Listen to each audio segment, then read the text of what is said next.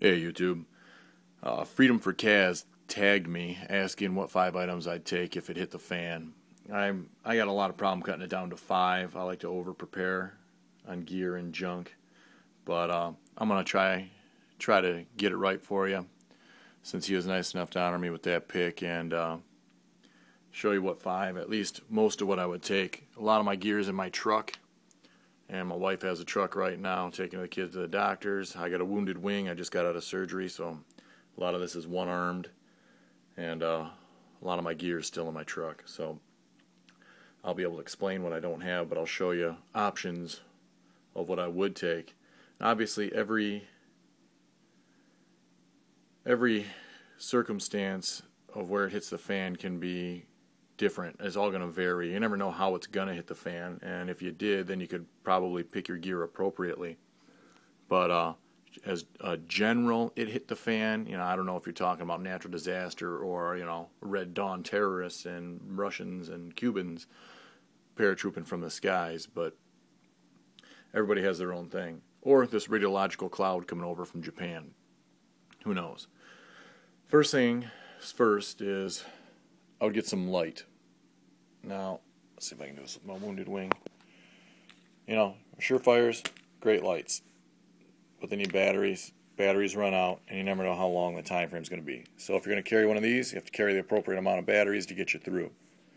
I got this little $6 Eddie Bauer on sale. It's a crank light, and although it's not the best version of a crank light, it's there to make my point. It'll charge with a solar charge and it'll charge by crank.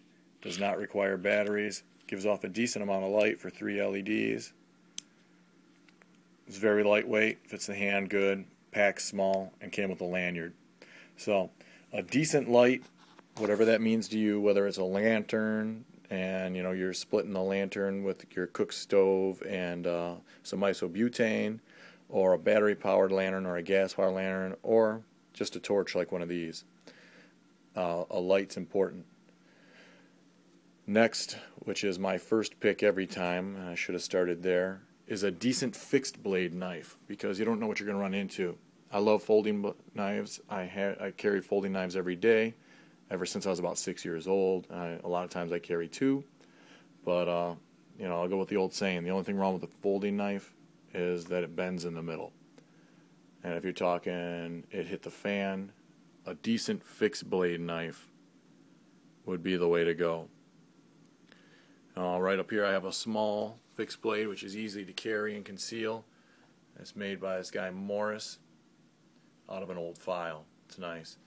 Becker Knife and Tool Companion, that's another choice. Rat RC3 before they became ESEE. That's the Ka-Bar my dad carried in Vietnam. He got him through Nam, so although they have their shortcomings, I'm sure it would be enough to get me through most situations. My Elishewitz Nimravus Cub, very, very, very first edition of it. ATS 34. It's worked well on deer hunting for me, so I get it done. Uh, Chris Reeve Shadow 3. I have another one upstairs. It's an Aviator. And a Schrade Extreme Survival. Out of all these here, the Rat, the Becker, the Nimravus, and although this Reeve is nice for the weight, there's not a lot of blade to it. Although it handle most things in defensive tasks, it'd be a little short, just like the Rat and the Companion. But if you want to go weight for ability, I'd probably grab this heavy sucker here and go to town. Carbon steel, thick spine, can baton it through what you need to if you got to make shelter and it gives you a little extra reach in case you have to uh, defend yourself against a two-legged predator. Any one of these would be an awesome choice. Next would be a weapon of some sort. Not a, see these are tools, last-ditch weapons, but a weapon of some sort, such as any one of these three. A lot of guys like the shotgun because of the versatility. I do as well, except for the limited rounds capacity and how much space it takes to carry more ammo. But if I was going to carry a shotgun, it'd be my Benelli. I like 870s. Um, I had a Mossberg. I'm not a fan of them anymore because mine was kind of a piece. But uh, the Benelli is incomparable. The ACR or my LWRC. Probably go with the ACR because for the added weight, I'm able to shorten it up and pack it smaller with the folding stock. And I have a I have an Eberl stock, a Burley stock, however you want to say it, gunslinger backpack. And with that folded, I can stick it in the pack, and nobody has knows I have a rifle unless they know what it is. And along with your weapon means you have to have some way of carrying your ammo and your weapon, and hopefully out of sight, like the ACR can be in the pack. I also carry a, a vest.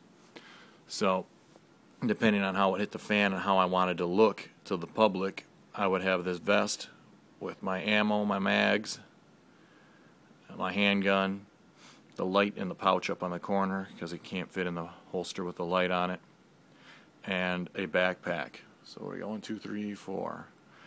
Yeah, the vest and the backpack go together as one for me. That's how I'm counting them. Knife, light, weapon, and then you're talking vest and pack to carry your stuff. Uh, see, I can't keep it to five. I can't keep it to five along with my vest and pack, just to give you an idea. Backpack, that's not the one I'd take, but just so I can kick it in to uh, make my point. Well, there you go. Vest and pack, weapon, knife, light, and the last one would be a mess kit. And it would be some way to carry my water and to cook and boil my water. With the ability to cook and the boil water, I can keep myself alive for a while. Uh, hopefully I'm able to procure some food as needed. And if not, I guess food as needed. But the last thing I would throw a number six on there, which I, I wouldn't leave without in that pack, would be a poncho. Because I can use that as a shelter and to keep me dry. And I can make a lot of hooches out of a, out of a poncho. So that's my give or take hit the fan stuff right there. I don't have anything to show you for my water carrying because it's all in the truck. My actual pack and my poncho, of course, is in that pack. But this is the Wounded Wing version. So anything out of these these groups, and I would add some more.